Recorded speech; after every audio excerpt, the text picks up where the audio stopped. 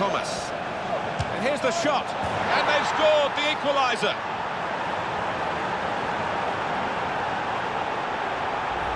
Oh, my word, I can't believe he's done that. So far out, he's put his foot through it and found the top right-hand corner. Incredible. So away we go at one all. He's seen a pass, cut it out, and in the wing area now can maybe attack.